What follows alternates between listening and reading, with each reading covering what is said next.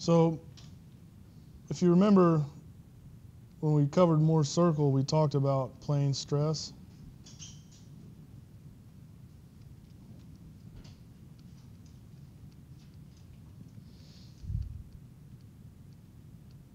Well, these equations make it really easy to derive the equations for plane stress because in plane stress, and I think when I recorded those videos, I broke them out real specifically.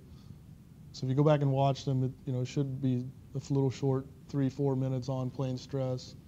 And I gave an example physically of what plane stress is. Remember, plane stress is usually associated with thin things, right? And in that, so in a plane stress scenario, sigma 1, 3, sigma 2, 3 is equal to 0.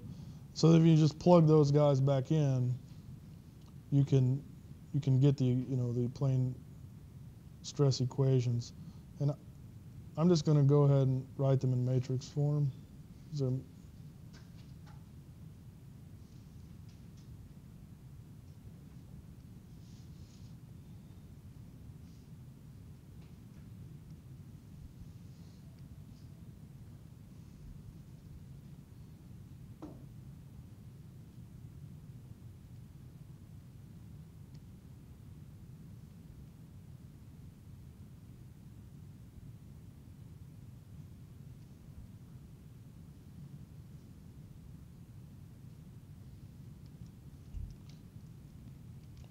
This is 2, 2.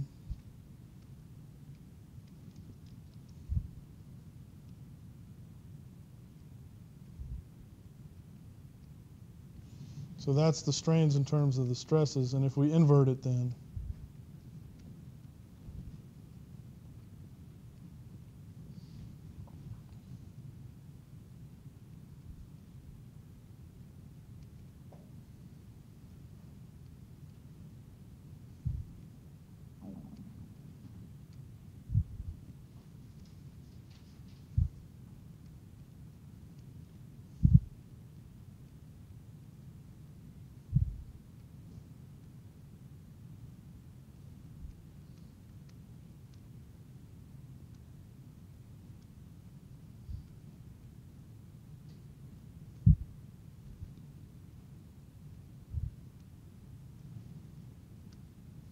So there's our, depending on which relationship's more convenient, that's the equations, the constitutive law for plane stress case.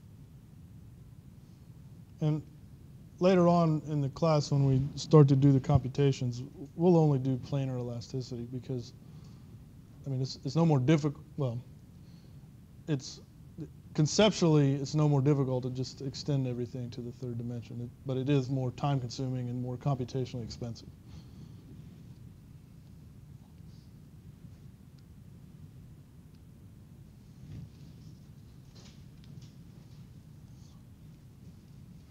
Oh, you know what, guys? Hang on. Let's go back. I think I might have written down the wrong.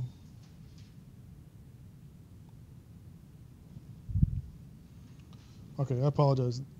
This is correct. Let me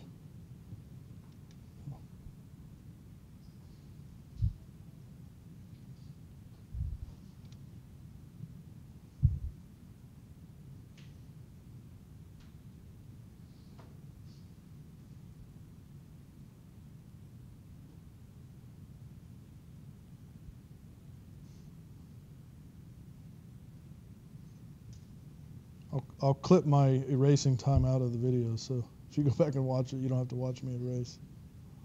Okay. Sorry. I actually accidentally copied the, the one for uh, the plane, uh, plane strain case that we're going to do next. So is everybody okay if I just write sigma there?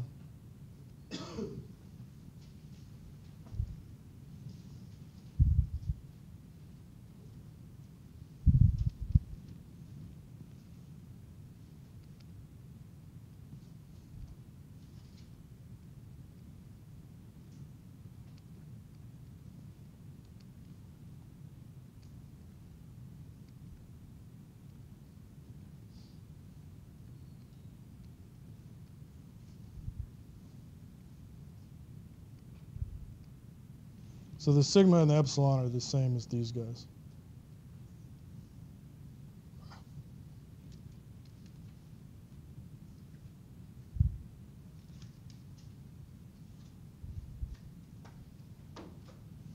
Okay, so then just last.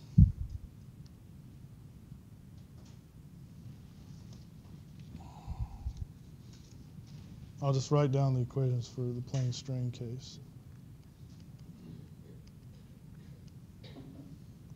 Plane strain, this is the assumption.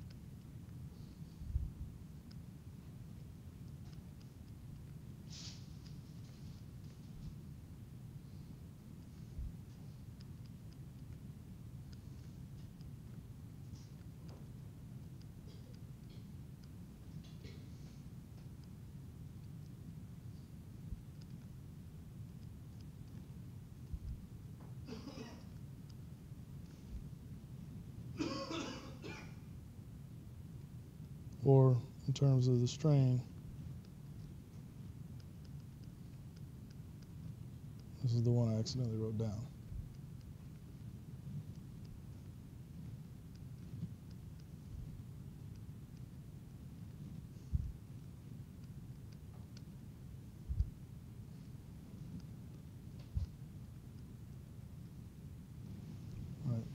So those are the equations for plane strain. And they're real easy.